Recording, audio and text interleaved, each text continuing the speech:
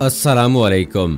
امریکہ افغان جنگ میں امریکہ کی تاریخی شکست اور پاکستان سرخرو ہو گیا۔ ہر طرف پاکستان کے جنگ کے بجنے لگے۔ آخر یہ سب ہوا کیسے؟ آج کی ویڈیو میں آپ کو بتائیں گے، سو ویڈیو کو آخر تک ضرور دیکھیے گا۔ اور اگر آپ نے ابھی تک ہمارا چینل اپنی دنیا ٹی وی سبسکرائب نہیں کیا ہے، تو ابھی سبسکرائب کریں اور ساتھ میں گھنٹی کے نشان کو ضرور دبائیں۔ ویڈیو کو لائک کرنے کے ساتھ ساتھ سوشل میڈیا پہ بھی شیئر کریں۔ ہمارے فیس بک پیج کو بھی لائک کریں اور کمنٹ باکس میں پاکستان زندہ باد، پاک فوج زندہ باد، آئی ایس آئی کے گمنام ہیروز کو سلام اور کشمیر بنے گا پاکستان کا نعرہ ضرور کمنٹ کیجیے گا۔ دوستو، امریکہ اور دیگر طاقتوں کی جانب سے پاکستان پہ بہت دباؤ رہا تھا، لیکن پاکستان سٹیبلشمنٹ اور منصوبہ سازوں نے بے پناہ امریکی دباؤ کے باوجود طالبان قیادت کے خلاف کاروائی نہیں کی۔ اہم کمانڈروں کو محفوظ رکھا اور کوئٹہ شورا سمیت حقانی نیٹ ورک کے خلاف آپریشن نہیں کیا۔ اب وہ سب اقدامات درست ثابت ہوئے۔ پاکستان کے افغان طالبان کے حوالے سے پالیسی پر تجزیہ نگار سخت تنقید کرتے تھے۔ یہ سب لوگ طالبان سے جان چھڑانے اور پہلے کرزئی پھر اشرف غنی کی حکومت کے آگے سرنڈر ہو جانے کا مشورہ دیتے تھے۔ اب وہ سب غلط ثابت ہوئے۔ ان کے تجزیے غیر متعلق اور تاریخ کے کوڑے دان کا حصہ بن گئے۔ پاکستان چاہتا تھا کہ امن معاہدہ ہو، مگر اس میں اتنا وقت ضرور لگ جائے کہ ہمیں پاک افغان سرحد پر باڑ لگانے کا موقع مل جائے۔ جبکہ معاہدے کا ٹائم فریم وہ ہو جب امریکہ میں صدارتی انتخابات کے سلسلے میں پرائمریز کی ووٹنگ شروع ہو جائے۔ بھارت اس پورے منظر نامے میں شکست خوردہ ثابت ہوا۔ بھارت نے افغانستان میں اربوں ڈالر کی سرمایہ کاری کی، وہاں اپنا اثر و رسوخ بڑھانے کے لیے بہت محنت کی اور کئی افغان لیڈروں کے ساتھ گہرے تعلقات قائم کیے۔ فیصلہ کن مرحلے میں بھارت کو دودھ میں گری مکھی کی مارد نکال کر باہر پھینک دیا گیا ہے۔ اشرف غنی کی افغان حکومت نے سر توڑ کوشش کی کہ امریکہ طالبان کے ساتھ براہ راست مذاکرات نہ کرے۔ افغان حکومت کو یہ کام کرنے دے، اگر مذاکرات ہوں تب انہیں تیسرے فریق کے طور پر شامل کیا جائے۔ طالبان نے یہ کوشش ناکام بنا دی ہے اور اپنے معاہدے کے لیے پاکستان کا خصوصی شکریہ ادا کیا۔ امریکہ نے بھی پاکستان کا شکریہ ادا کیا، لیکن سوال یہ ہے اس معاہدے میں کون سا فریق فاتح ہے؟ کس سے ایڈوانٹیج ملا اور کون گھاٹے میں رہا؟ نائن الیون کے بعد افغانستان کے تبدیل شدہ منظرنامے کے تین چار بنیادی فریق یا سٹیک ہولڈر ہیں۔ اور ایک دو ضمنی مگر اہم فریق افغانستان میں جاری جنگ افغان طالبان اور امریکہ کے مابین تھی۔ اس لیے بڑے دونوں کھلاڑی تو یہی ہیں۔ افغان حکومت بھی اہم فریق تھی کہ رسمی طور پر افغانستان کی حکومت اس کے پاس تھی۔ پاکستان اگرچہ ضمنی مگر نہایت اہم فریق ہے کہ افغانستان میں امریکی فوج کے آنے کے بعد پاکستان کو بہت کچھ بھگتنا اور سہنا پڑا۔ دوستو، اس معاہدے کے سب سے بڑے فائدہ اٹھانے والے طالبان ہیں۔ امریکہ نے طالبان حکومت ختم کی، اس کے بعد جو سرکردہ طالبان کمانڈر یا جنگجو ہاتھ آئے، وہ قیدی بنے۔ کئی اہم لیڈروں کے سر کی باقاعدہ قیمت مقرر کی گئی، جبکہ تنظیم کو دہشت گرد قرار دے دیا گیا۔ جس سپر پاور اور حملہ آور فوج نے ایسا کیا، اب خود اسی نے بہت بڑا یو ٹرن لیتے ہوئے ٹھیک ٹھاک قسم کی پسپائی اختیار کی ہے۔ طالبان اب دہشت گرد تنظیم نہیں، اس کے اہم رہنماؤں کو امریکہ نے اپنی قید سے رہا کر دیا ہے۔ جبکہ کمانڈروں کی ہیڈ منی بھی ختم ہو گئی ہے۔ امریکہ نے افغانستان پر اپنی گرفت مضبوط کرنے کے بعد مسلسل کوشش کی کہ طالبان کا کمانڈ اینڈ کنٹرول سٹرکچر توڑ کر تنظیم کو ختم کر دیا جائے۔ امریکی جنرل اپنے تمام تر وسائل ٹیکنالوجی اور انٹیلیجنس ذرائع استعمال کرنے کے باوجود ایسا کرنے میں ناکام رہے۔ طالبان نہ صرف موجود رہے بلکہ بتدریج انہوں نے افغانستان کے وسیع علاقے پر اپنی گرفت مضبوط کر لی۔ حتیٰ کہ امریکی ایک ہزار ارب ڈالر سے زیادہ خرچ کرنے، سینکڑوں جانے قربان اور ہزاروں فوجی زخمی نفسیاتی مریض بنوانے کے بعد یہ سمجھ گئے کہ وہ افغانستان میں طالبان کو کبھی شکست نہیں دے سکتے۔ چند سال پہلے تک امریکہ کو جب یہ مشورہ دیا جاتا کہ یہاں سویت یونین ناکام ہوا، آپ کو بھی شکست ہوگی۔ اس لیے افغان جنگ میں مزید الجھنے اور دھنسنے کی بجائے باہر نکلنے کی راہ اپنائے تب ایسے ہر مشورے کو امریکی جرنیل سی آئی اے اور سول قیادت سختی سے مسترد کر دیتی تھی۔ امریکی ایک طرف ناکام ہونے کے بعد دوسرے طریقے نئی چال، نئے فارمولے کو آزماتے رہے۔ سب بری طرح ناکام ہوئے۔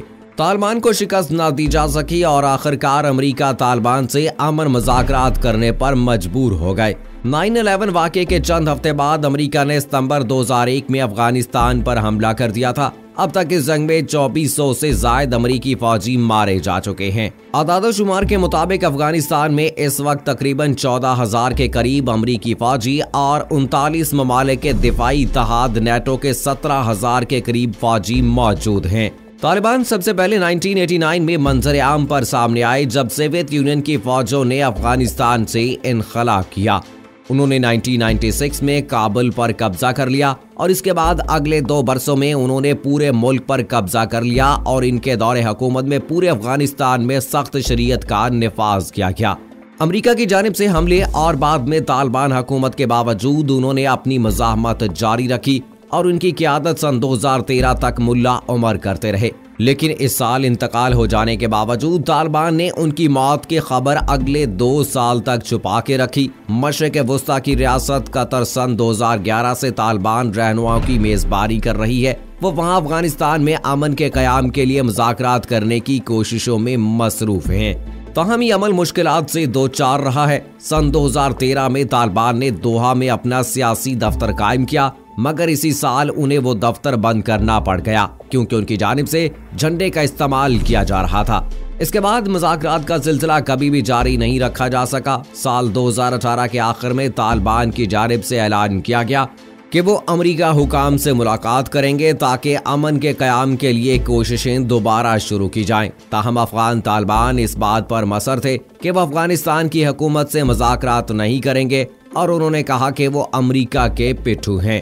ان مذاکرات میں امریکہ کی نمائندگی کرنے والے ظلم خلیل زاد نے گزشتہ سال ستمبر میں کہا تھا کہ امریکہ طالبان سے کیے جانے والے معاہدے کے بعد افغانستان سے چون سو فوجی اگلے بیس ہفتوں میں نکال لے گا۔ لیکن اس بیان کے چند روز بعد ہی افغانستان میں ایک امریکی فوجی کی موت کے بعد امریکی صدر ڈونلڈ ٹرمپ نے کہا کہ مذاکرات ختم ہو گئے ہیں۔ لیکن پھر چند ہفتوں بعد ہی مذاکرات میں دوبارہ آغاز ہو گیا۔ تب طالبان یہ بنیادی شرط عائد کرتے تھے کہ پہلے امریکی افواج مائی نیٹو افواج افغانستان سے نکل جائیں۔ طالبان نے پھر اتنی لچک پیدا کر لی کہ چلیں کم از کم امریکی اپنی فوجیں نکالنے کا ٹائم فریم دے دیں، پھر بات چیت شروع ہو سکتی ہے۔ تب امریکی یہ سمجھتے تھے کہ اگر ہم نے واپسی کی تاریخ دے دی تو اس سے طالبان طاقتور ہوں گے اور افغان حکومت کمزور ہو جائے گی۔ حالات آج امریکہ کو اس نہج پر لے آئے ہیں کہ انہوں نے طالبان کی یہ شرط تسلیم کر لی ہے۔ طالبان امریکہ آمن معاہدے کی بنیادی شرط یہی ہے کہ امریکہ اور نیٹو افواج سوا سال کے عرصے میں افغانستان سے چلی جائے گی۔ اس اعتبار سے یہ طالبان کی فتح ہے۔ ایک بڑی واضح کامیابی فتح مبین۔ امریکی انہیں توڑنے، جھکانے شکست دینے ختم کرنے میں ناکام رہے ہیں۔ وہ لوگ جو سمجھتے تھے کہ طالبان ختم ہو گئے، وہ ماضی کا ایک باب بن گئے ہیں۔ ہفتے کی شام ان سب کو اپنے تجزیے غلط ہونے، اندازے الٹ جانے پر دل ہی دل میں صحیح شرمندگی تو محسوس ہوئی ہوگی۔ اور پاکستان کے دشمن بھی آج اپنی شکست تسلیم کرنے پر مجبور ہو گئے۔ پاکستان کی حکمت عملی نے ایک بڑی جنگ کو ختم کر کے دنیا پر یہ اپنی طاقت کو واضح کر دیا ہے۔ طالبان اپنی جگہ پر ڈٹ کر کھڑے ہوئے اور بے شمار جانوں کی قربانی دینے کے باوجود کھڑے رہے۔ وقت نے ثابت کیا کہ تاریخ ہمیشہ جرت مندوں اور بلند حوصلہ لوگوں کا ساتھ دیتی ہے۔ امریکی سے اعتبار سے شکست خوردہ ہوئے کہ جن کی حکومت ختم کی تھی، جن سے انیس سال لڑتے رہے، انہی کے ساتھ بیٹھ کر امن معاہدہ کرنا پڑا۔ ایک اچھا پہلو یہ ہے کہ ایسی بے مقصد جنگ جس کا امریکہ کو کچھ فائدہ نہیں مل رہا تھا اس کے ختم ہونے کے امکانات روشن ہو گئے۔ دوستو، جس طرح سے طالبان اور امریکہ کے درمیان مذاکرات کے عمل کو مکمل کرنے میں پاکستان نے اپنا اہم کردار ادا کیا ہے، وہ قابل ذکر ہے اور قابل غور ہے۔ اس سے بھارت کو بہت زیادہ پریشانی ہوئی ہے کیونکہ وہ جانتا ہے کہ پاکستان میں جتنی بھی بد امنی پھیلائی جا رہی تھی، پاکستان میں جتنے بھی دہشت گردی کے واقعات کیے جا رہے تھے، وہ بھارت افغانستان کے راستے سے ہی کرتا تھا۔ دوستو، ہم نے دیکھا کہ سانحہ اے پی ایس جس طرح سے ہوا، جس میں بہت سارے بچوں کی جانیں گئیں، بہت سارے اساتذہ کی جانیں گئیں، معصوم لوگوں کی جانیں گئیں۔ جو لوگ بچے تعلیم حاصل کرنے کے لیے سکول گئے تھے اور واپس نہیں آئے، تو یہ ایک بہت بڑا نقصان تھا جو پاکستان کو اٹھانا پڑا۔ اور اس کے تانے بانے ہم نے دیکھا کہ افغانستان کے ذریعے سے بھارت میں ہی جا ملتے تھے۔ تو اس طرح کے اور بھی بہت سارے واقعات ہیں جن میں براہ راست بھارت ملوث رہا ہے۔ اور پاکستان کو نقصان پہنچانے کی اس نے بھرپور کوشش کی ہے۔ تو ظاہر سی بات ہے، اب اگر طالبان اور امریکہ کے درمیان مذاکرات جو ہیں، وہ پایا تکمیل تک پہنچے ہیں، تو پاکستان کے لیے یہ ایک بڑی خوشائند بات ہے۔ امریکہ بھی اپنی جان چھڑانا چاہتا تھا، وہ چاہتا تھا کسی طرح سے اپنی فوج کو واپس بلانے میں کامیاب ہو جائے۔ اور جس بات کا وعدہ کر کے صدر ڈونلڈ ٹرمپ نے امریکی عوام سے ووٹ حاصل کیے تھے وہ اس کو وفا کرنے میں کامیاب ہو جائیں گے اور وہ کامیاب ہو بھی گئے۔ تو یہاں پر امریکہ کے اس قدم سے طالبان کے ساتھ جس طرح سے ان کے مذاکرات فائنلائز ہو گئے ہیں، تو اس سے پاکستان کی بڑی کامیابی واضح ہوتی ہے اور اسی وجہ سے بھارت میں صفے ماتم بیچ گیا ہے۔ سو دوستو، امید کرتے ہیں کہ آنے والے وقتوں میں بھارت کو مزید شکست کا سامنا کرنا پڑے گا اور انشاءاللہ پاکستان بہت ساری کامیابیاں حاصل کرے گا۔ اسی امید اور دعا کے ساتھ دوستو، مجھے اگلی ویڈیو تک اجازت دیجیے فی امان اللہ۔